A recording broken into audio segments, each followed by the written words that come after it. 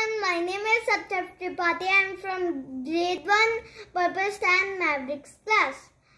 And uh, today I am going to do rising water experiment. For this, I, I need candle, one transparent glass and one plate of colored water.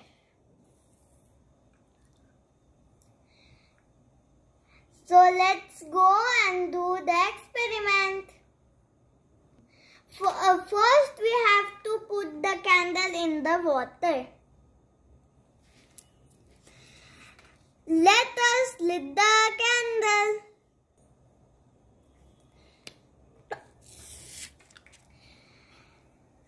Now I will put the glass on the candle.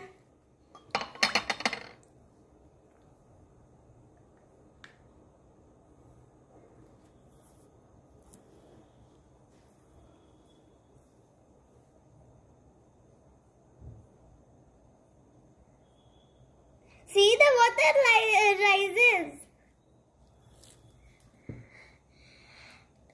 This is because inside the glass the air pressure is uh, first increased and then suddenly decreased. Thank you and we, uh, we have to be careful when we try this experiment.